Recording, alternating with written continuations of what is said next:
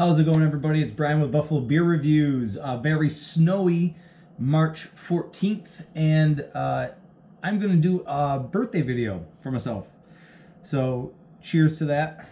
Uh, today, we're going to take a look at something I got myself a couple of days ago, yeah, probably a week ago. Um, finally going to make it under video, and it's the Singlecut. Thinking about the weather, uh, Cocoa Porter. Um, I love the name. Uh, I love the brewers. Uh, I love porter styles. Uh, it's a big bottle. I can have a couple of glasses of it, and you know, happy birthday to me. Uh, this is probably the worst weather I've ever seen on my birthday. It's usually, you know, spring's just usually creeping in, but not this year. Anyway, from Untappd, this is a 5.5% alcohol by volume with an IBU 26 porter. So seems little toned down a little bit, you know, hopefully very drinkable. Uh, the description from um, a new wave of American porter. Thinking hard about the weather combines the dry, hop bite of a porter with a double dose of intense cacao and gentle hints of vanilla. Sessionable, satisfying, and a perfect kiss of chocolate. And from the Singlecut website, says very satisfying whether the weather uh, has you pondering the weather or to go out in the uh, snowshoes or galoshes. So let's see what this thing looks like.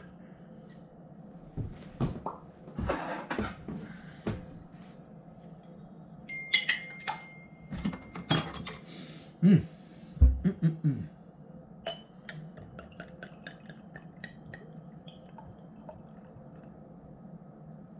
Totally. I cut my teeth on craft beer, uh, drinking whole lots of porters. I love the style. I love the versatility of the style. Um, I just dig it. You know what I mean? So look at this thing. Uh, it's a classic porter profile, really dark, uh, brown, blackish. There's I don't even see any daylight around. You know the the sides of the glass. Do you know what I mean? You even though it's super dark, you can tell it's really well carbonated. Even though I'm not getting much of a head here, it is, you know, you can you can see it, you know. Mmm. Yeah, you get that kind of I wouldn't say a super like a dark chocolatey multi bite to it, but you do get, you know, a nice dose of of roasted uh, aromas and these chocolatey you know, not so much on the vanilla yet. But yeah, chocolatey with maybe like a thin vanilla aroma. It's cool. Mmm. It's making my mouth water. So, let's see how this thing tastes, huh? It's my, I believe this is my first time having it. Um, yeah.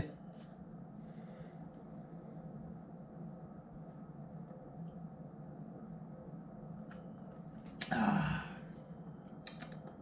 Yep very good. Very clean, very crisp. Um, and it cuts right through. There's no sort of overwhelming muddled hoppiness to it. You get these, it's a super thin and crisp uh, ale, porter. Uh, and then it cuts with this, a very nice little leading edge of vanilla with uh, that leads into these roasted notes. And again the it's like a it's a thin uh, chocolate. Uh, I shouldn't say thin. It's not this overwhelming like chocolate syrup um, you know ungodly creation. It's just, it's just it's there. It's a suggestion. It's kind of in the background. Uh, but it just plays well with this porter style uh, beer. I love it. It's great Mm-mm-mm.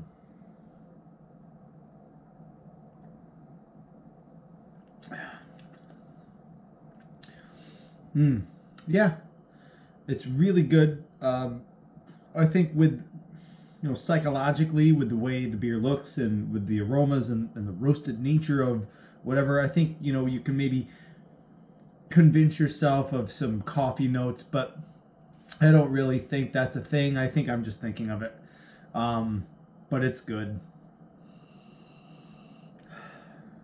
Yeah, totally.